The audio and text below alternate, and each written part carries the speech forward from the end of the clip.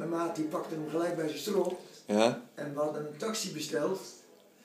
En we, we duwden die gozer erin. Ja? En met, met, met een hand voor zijn bek. Ja? En rijden die taxichauffeur. Ja? En dan hebben we ik weet wat, 10, 20 straten verder hebben we hem afgezet. Eruit gesodemieterd. Ja. ja. Kon die gaan lopen. Ja. Maar dat deed je dan met je maat. Maar dat, Ja. zou je, dat kan je dus overkomen. Hè? Ja.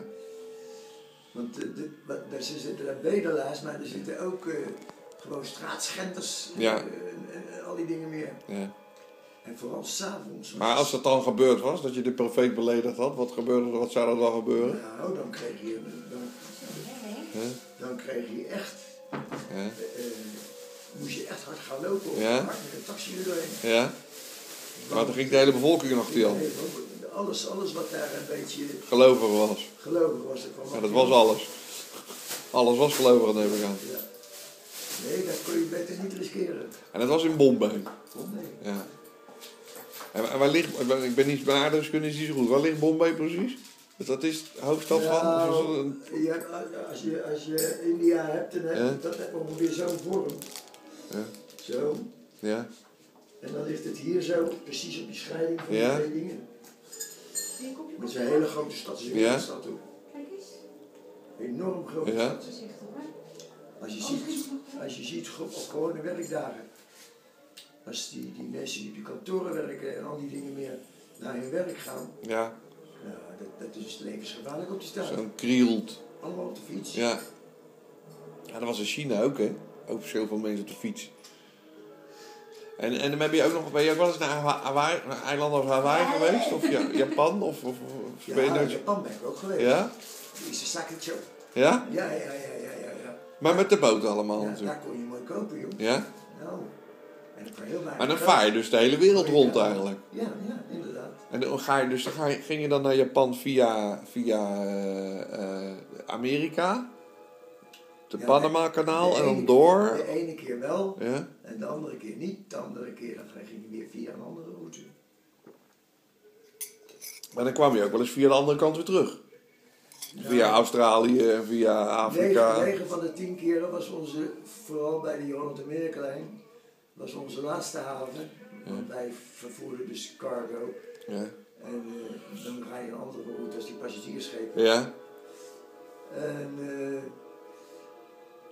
dan ging je eh, naar Paramaribo. Ja? En als de laatste vracht voor daar gelost was, Ja? dan ging je de rivier op. Ja. En dan ging je naar Paranam. Naar daar? Paranam. En waar ligt dat? En Paranam ligt in de bush. Oh, Maar daar zijn de eh, bauxietmijnen, ja? Nou, dat is ook Suriname nog. Dat is Ja, ook Suriname, ja, ja, ja. ja. En daar werd, werd die boot hartstikke vol gegooid. ja. Met aluminium, Met bauxiet. Ja? En, en dan ging hij weer in één streep terug naar New Orleans. Ja. Nou, dan was het het zootje los bij de Hooghovens daar zo. En New Orleans ligt aan, Aan de zuidkant helemaal. aan de zuidkant, ja? Ja, helemaal aan de zuidkant. Ja. Grappig, hè? Alle avonturen. Nou hè. En dan ben je wel, ik hoor altijd, vroeger leerden wij op school altijd van, eh, wat is dat bij, bij, is dat bij Afrika? Kaap de Goede Hoop en zo? Dat dat Ja, allemaal... Goede Hoop, ja. Maar is dat echt zo slecht daar? Eh, Ja, nou ja, Ja. ik bedoel, die kaap die heb ik natuurlijk verschillende keren, want ik Ja. heb bij de, bij de VNS gevaren. Maar waarom heette dat Kaap de Omdat dat zo slecht was, weer? Ja, nee, Kaap de Goede Hoop. Dan, het was, de hele weg was het slecht, veel Ja. stormen. Ja, En dan bij de Goede Hoop, dan kreeg je een andere windrichting. ja. En daarom noemden ze het Kaap de Goede Hoop. Ah. Dan kreeg je de wind weer in de zeilen. Oh, het was niet zo dat je de goede hoop moest hebben dat je de hele heen kwam? Of? Nee, nee, nee, nee, nee, nee. Dan was je er nooit. Oh, dan was je er nooit. Oh, oké. Dan kwam je enkel nog eventjes de Congo tegen. En ben je ook wel eens bij de Bermuda-driehoek geweest, waar al die schepen vergaan of zo? Waar is dat? Bermuda, waar ligt dat, Luus? Ja, Bermuda, dat Ja. is... Moet eh, je aan Lucie vragen. Ik weet Ja, niet ik waar denk- Nederland ligt. ja, Ja? nee. eh, Ik weet dat niet hoor. Ja joh, dat ligt eh, Ja. aan de onderkant van, eh, van Zuid-Amerika. Ja? Ja, ja, maar ik zeg al, ik weet niet eens waar Nederland ligt als je me een wereldkaart laat zien. Mijn aardrijkskunde is eh, zeg maar eh, van zeer oud. Nou, dan heb je dat mooi geregeld. Nee, want wij kwamen op al die eilandjes op de Caribische Zee. Ja. En ik had een, ik had een maatje op die, op die andere boot. En die ging er daar af. Ja. Want die ging ook weer op zo'n... eh, op zo'n net, oh, net Onidinlijn. Ja. Die schepen. Ja? Die voeren daar. En die voeren cargo door Ja. een hele archipel. Ja, ja. Heb je wel schip, heb schipbreuk geleden of niet? Echt dat je er echt afgeslagen bent of dan ook? Ben je wat overboord geslagen? Nou, we hebben het wel moeilijk gehad. Ja. Dat moet ik direct zeggen, maar niet zo dat je, dat je zou zeggen van god, en nou gaan we dadelijk. Ja? Ja, één keer toen eh, kwamen we de rivier, de, de, de rivier in Duitsland af. Ja. En ik stond aan het wiel. En eh, toen werd ik afgelost en dan ging je meestal in de kantine zitten. Ja. En ik zat in die kantine even. En toen komt die bootsman naar me toe. Toen zegt hij, heb je de, de vrije wacht? Ik zei, ja. Hij zei, nou. Hij zegt, op mast 1, daar zit een toplicht los. Hij zegt, eh, ga jij er even niet op zetten? Ja. Dan kon je naar boven. Die, eh, Eh, ja, dan moest ik naar boven. Maar ik moest eerst het, het kabelgat in natuurlijk, Ja.